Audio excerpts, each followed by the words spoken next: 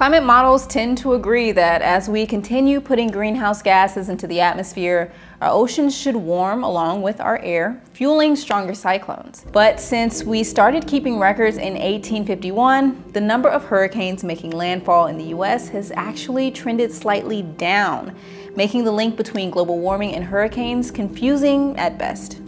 Still, anyone who lives in range of hurricane landfall knows we've seen some of the strongest, windiest, wettest, and most destructive hurricanes on record. So we asked leading researchers what's going on and if hurricane history can help us understand what's coming next. The last 50 years really are unusual. Uh, they stand out over the last 150 years at a very peculiar time and we expect them not to be a very good guide about what we what is going to happen over the coming century. Hurricane scientists recently discovered the most likely mechanism to explain this climate confusion. This discovery not only helps us understand the past, but allows us to create a much clearer picture of how hurricanes will change in the future. And one worrisome change is more frequent rapid intensification. You could have the case where we are looking at a category two you wake up in the morning and offshore is a category four.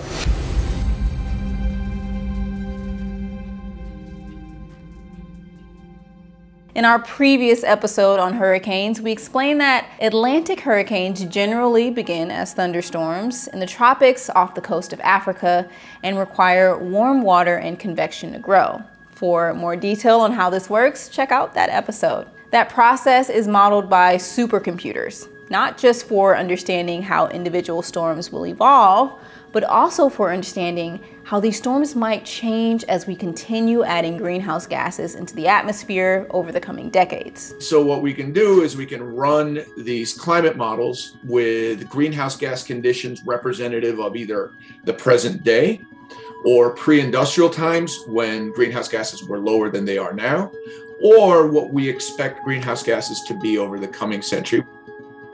We see that then the climate warms, the ocean warms, the atmosphere warms. We tend to have more moisture in the tropical atmosphere. And all of these contribute to making the hurricanes in these models more intense than they are in the present. So a warmer atmosphere equals warmer water equals more energy for storms to grow into hurricanes. That makes sense. But not only have we seen a decrease in hurricane landfall over the last century, we also haven't seen a significant increase in seasonal accumulated cyclone energy, which measures maximum wind energy over the course of a season. And in a certain sense, that is a little bit discomforting because we would like to be able to see in the data over this period that we've seen a fairly clean uh, signal of global warming and globally average temperatures, continental temperatures, heat waves. We would have liked to have seen this signal of greenhouse gases in hurricanes as well.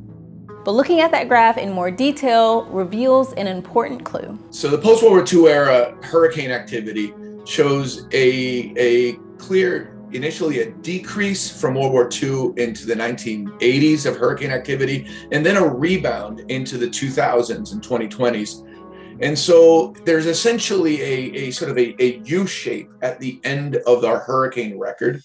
Why do we expect something clean and uh, sort of a, a, an intensification of hurricanes over the coming century? And why do we see something different over the past 50 years? Gabe and others have identified two main drivers of this dip in hurricane activity that have essentially masked the effects of greenhouse gases over this period. The first is basically natural variability, but the second fundamentally changed the way many scientists understand hurricane history in the future. One of them is uh, a phenomenon known as the Atlantic multi-decadal oscillation. Uh, we refer to it in shorthand as the AMO, um, and it is a natural cycle involving uh, changing the strength of ocean currents and their ability to bring warm water northward that we think is intrinsic to the Atlantic. And it tends to cycle from active to inactive phases with a timescale of about 50 years. Superimposed on that, though, over the last 50 years, We also have what we think is an amplifying effect from what we call aerosols. These are not aerosols as in a spray can. These are little particles of dust and soot in the atmosphere that act to shield sunlight from hitting the surface. Following the big industrial buildup in World War II in Europe and North America, there was an increase in this particle pollution over the Atlantic. This acted to shield the Atlantic from sunlight and lead to somewhat muted warming or even perhaps some slight cooling as we went from the 1940s into the 1970s. This acted to weaken hurricane activity, where even the storms that formed tended to be weaker. And so it was a, a, a, muting both of frequency and intensity that when you look at quantities such as the number of major hurricanes um, it becomes a really, really pronounced signal. You get this very large decrease going from World War II to the 1980s, and then a very large increase following that. My name is Hiro Murakami. I'm a physical scientist at NOAA GFDL. His recent study shows the effects of recent increases in aerosol pollution over the Pacific coming from Asia. Since 1980, the United States and Europe actually decrease a lot of aerosol emissions so that air become much cleaner than before.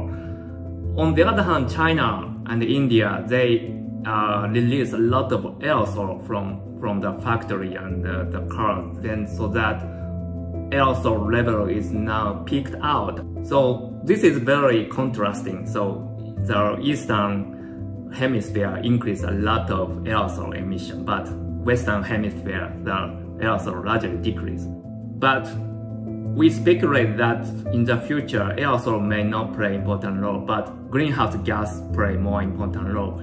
So now that Europe and North America have cleaned up their act, models show that hurricane activity over the North Atlantic should begin to bear the signs of global warming much more clearly. When we start comparing the next 30 years to the pre-industrial and even to recent history, we should start seeing a much cleaner signal from increasing greenhouse gases. And that's not necessarily good news if your home is in range of hurricanes.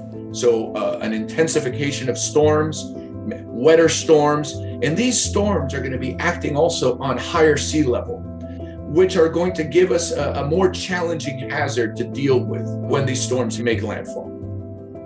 Gabe and Hiro listed five ways that many scientists believe hurricanes will change as the climate warms. And these are things we've already started to see. Number one, warmer ocean surface water will fuel higher wind speeds, so much so that some scientists are already discussing adding a sixth category to the rating scale. Number two, warmer air will hold more moisture and dump more rain on land. Number three, higher sea level due to melting ice caps plus higher wind speeds will lead to an increase in storm surge. Number four, pockets of especially warm water near land will lead to more frequent rapid intensification as cyclones make landfall, complicating decisions to evacuate and respond appropriately. All of this is projected to increase the destruction from hurricanes, but maybe there's a bit of good news. Number five, a warmer atmosphere will also lead to more stable air, which is likely to decrease the overall number of tropical cyclones that form because the convection current needs cooler air high in the atmosphere to develop. But the ones that we do see will likely be more intense and more destructive. So definitely check out our previous hurricane episode from the record-breaking 2020 season to learn more about how to prepare for these intense storms. Do you live in an area at risk of hurricanes? If so, what are you doing to prepare? And how do you think about the risks in a changing future? Does that change affect your decisions about where to live? Let us know in the comments below. And as always, stay safe.